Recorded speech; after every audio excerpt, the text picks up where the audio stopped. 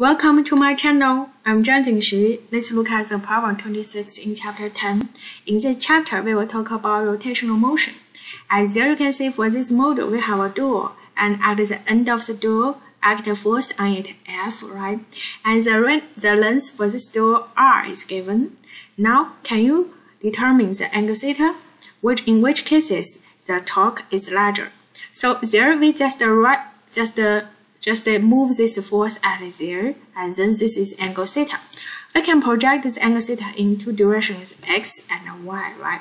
Now, which force, which force act just uh, will affect this uh, torque? This one, F sine theta. So we know the torque is RF sine theta.